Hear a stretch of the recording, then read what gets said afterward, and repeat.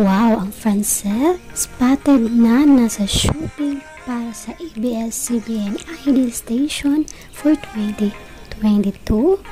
Well, para malaman ito bang kwento, watch this video till the end. Spotted niya ang Francel, si Francine at si Seth Fidelin na magkasama.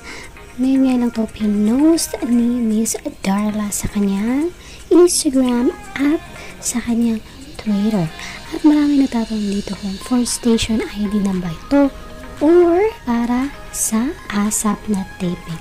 Pero hindi lang si Miss Lola ang nag-post nito guys. Dahil may isa rin pang artista ng ABS na nag-post kasama si Francine at si Seth. Ayan. Two pictures yung pinost ngayon ngayon lang to guys. At maliban sa kinilig yung mga tao na nakita nito is napansin din nila yung couple na naman na suot ni Francine at Seth na white sila pareho. Marami nagsasabi na natapos na daw yung laking taping nila. Pero the question here is, is it for the ABS-CBN ID station na shoot or para sa ASAP natin to this coming Sunday?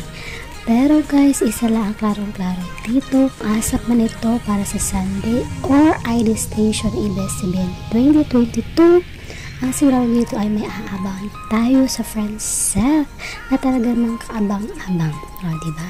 Para malaman kung ano nga ba ito guys. Pero kung ano sa tingin nyo, kung may idea kayo, is it for ASAP taping or ID station taping, comment down below guys. At para sa susunod na updates, subscribe sa channel para updated kayo lagi. Thanks for watching!